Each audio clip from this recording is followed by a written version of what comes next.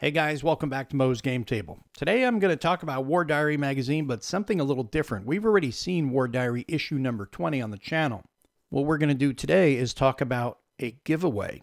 And we are going to be doing a really awesome giveaway. And this is thank you to Mark Ruggiero. And this is his way of thanking the community that has rallied behind him and his lovely wife, Elvie, as they both battle cancer. And it's been a great show of brotherhood that we've seen from the war game community. Everybody stepping up and helping out.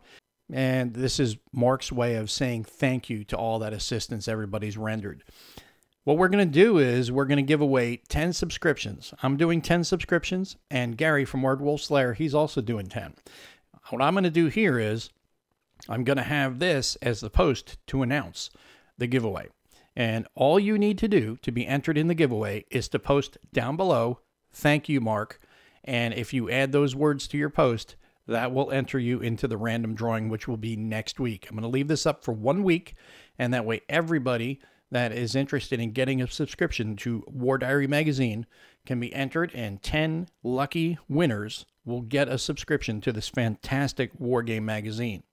If you're not already a subscriber, and you should be, but if you're not, this is your chance to get your own subscription to the best wargaming journal on the market.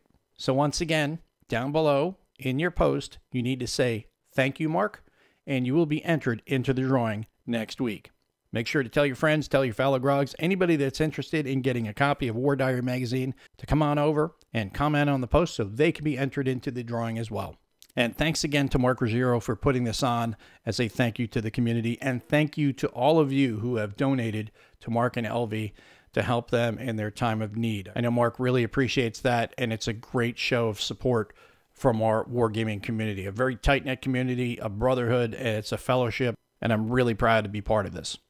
So get down below, post thank you, Mark, and get entered into the drawing.